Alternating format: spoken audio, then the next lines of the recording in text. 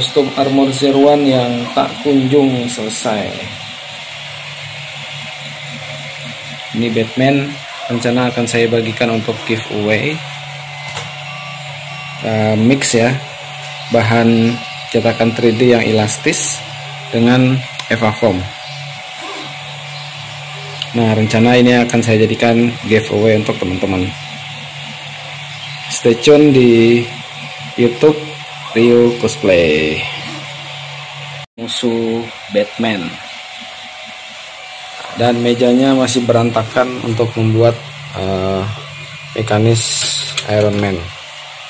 Ini bagian arm uh, teknis atau mekanis dari Iron Man. Ini kabel-kabelnya masih berantakan. Ini voice command. Kita order dari luar harganya lumayan ya sekitar satu juta setengahan. Ini doang nih buat otomatisnya Iron Man. Dan masih banyak alat-alat lainnya yang uh, belum saya gunakan untuk mekanis dari Iron Man nanti. Banyak ya ini lampu-lampu lednya. Ini nanti persiapan untuk mata ya mata topeng. Sudah saya buat seperti ini. Ya masih berhamburan semua ini masker soldier 76 uh, cetakan 3D bahannya juga elastis. Ini bisa bongkar pasang ya. Bisa bongkar pasang.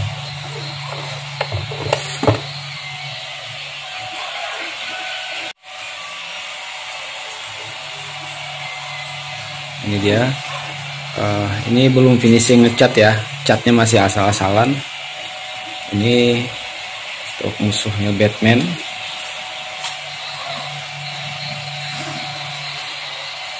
Gak kerasa ya kalau ini dihargai 2 juta 2 juta 2 juta 2 juta ini udah 8 juta rupiah. Ditambah uh, ini udah 10 tambah ini 12 juta. Cuma dipajang di rak papan biasa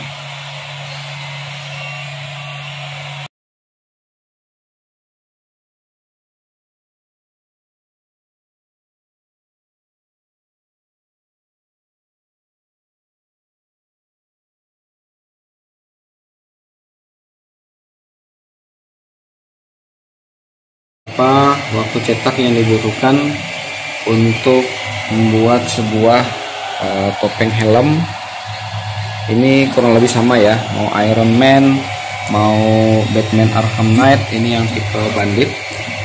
Waktu yang dibutuhkan untuk mencetak satu helm ini adalah 5 hari 14 jam 36 menit dengan banyaknya bahan yang terpakai 1188 gram atau uh, bahan filamen sepanjang 398,22 meter. Ini bahannya namanya filamen ya, seperti menenun kain ini yang dibutuhkan untuk mencetak Eh, bahan 3D. Nah, kenapa cetakan printer 3D itu mahal? Ya karena bahannya uh, banyak diperlukan dan waktu cetak itu lima hari printer hidup nonstop ya. Jadi selama lima hari printernya nyala terus. Ya, jadi tidak heran untuk bahan cetakan 3D cetakan yang hanya sebesar ini saja. Ini harganya 200.000 kecil. Segini. Ini harganya 200.000 nih. Ya. Jadi bagi teman-teman yang dapat giveaway itu berupa visual. Teman-teman yang dapat uh, giveaway berupa visual seperti ini ini Spiderman. Ini menghabiskan banyak bahan filamen cetakan 3D makanya harganya mahal ya. Ini untuk uh, dijadikan master ini aja harganya udah nyampe sekitar satu juta setengah sampai dengan 2 jutaan. Ini ini giveaway untuk teman-teman harganya segini nih kalau untuk cetakan 3D ini nanti biaya untuk finishing nah, kalau saya karena saya uh, belum bisa untuk membuat finishing seperti deko cat mobil saya bawa ke tukang deko saja ke tukang airbrush.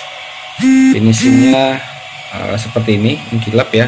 Persis kayak bodi mobil. Ini biayanya saja kemarin 300.000 untuk satu facial ini. Lalu bagaimana dengan uh, masker Gundam? Ini uh, pencetakannya lumayan ya. Ini sekitar 10 jam baru selesai untuk mencetak satu masker ini saja. Ini bisa bongkar pasang jadi lumayan ya. Ini untuk mencetak pisau ini saja menghabiskan waktu selama 6 jam. Jadi sangat wajar jika cetakan 3D itu harganya mahal. Printernya hanya bisa tahan uh, on selama dua hari uh, selama dua kali 24 jam. Dan untuk mencetak helm topeng dari Batman Arkham Knight atau helmnya Bandit Batman. Memerlukan waktu lima hari sehingga kita harus memotong-motong per bagian agar kita tidak harus mencetak atau menyalakan printer selama lima hari berturut-turut ya. Udah gempor itu udah panas banget itu kalau lima hari nonstop printernya harus uh, nyala mencetak helm ini. Ini untuk pada ini bagian tanduknya ya. Dan ini bagian bawahnya. Kemudian ini untuk bagian dagu. Seperti ini.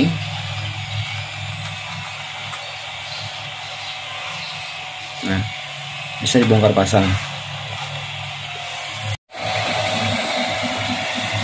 Uh, pertanyaan berikutnya kenapa cetakan printer 3D itu mahal? Nah teman-teman di sini bisa lihat ya. Untuk bisa mencetak seperti ini untuk bahan 3D uh, eh, filamen ini ya filamen ini namanya filamen uh, atau tinta ini namanya filamen atau tinta uh, printer 3D filamen ya. Alat ini harus memanaskan alat uh, printer ini harus memanaskan extrudernya 220 derajat celcius ya. Ditambah lagi untuk memanaskan bed itu 60 derajat celcius. Jadi totalnya 280 derajat celcius. Ya anggap saja uh, printer ini harus menyala selama 5 hari 14 jam 36 menit ya ibaratnya teman-teman menyalakan setrika uh, menyalakan setrikaan full panasnya 300 derajat celcius selama 5 hari 14 jam non-stop. Oh apa nggak kebakar nih printernya ya? Nah, makanya itu uh, kita mencetaknya pun perbagian saja supaya bisa lebih hemat waktu dan bisa diatur. Jadi kita pun juga bisa istirahat nah itu tadi jawabannya kenapa cetakan printer 3D itu mahal. Ya karena sesuai dengan uh, bahannya yang juga mahal. Kemudian biaya listrik yang harus menyala selama ini dengan panas 300 derajat celcius. Kemudian risiko kemudian risiko untuk uh, gagal cetak. Nah, misalnya udah mencetak hampir selesai seperti ini eh ternyata rusak gagal cetak atau ini jatuh gitu. Nah itu harus diulang lagi dari awal. Berapa banyak uh, waktu dan biaya dan bahan yang terbuang karena gagal cetak. Itu yang uh, risiko dari customer yang mereka nggak nggak mau tahu gitu. Oke, sekian uh, sekilas penjelasan kenapa cetakan printer 3D itu mahal. Oke, semoga ini bisa dipahami. Nantikan video selanjutnya. Nah, cetakan printer 3D itu tidak hanya bisa untuk mencetak topeng tapi teman-teman juga bisa mencetak uh, action figure dan banyak hal yang bisa dilakukan uh, dengan printer 3D. Oke, sekian penjelasan singkat tentang printer 3D, kenapa harganya mahal. Eh, semoga dengan penjelasan singkat ini teman-teman bisa memahami dan bagi yang dapat giveaway, Anda sangat beruntung. Sampai ketemu di video uh, review. Selamat.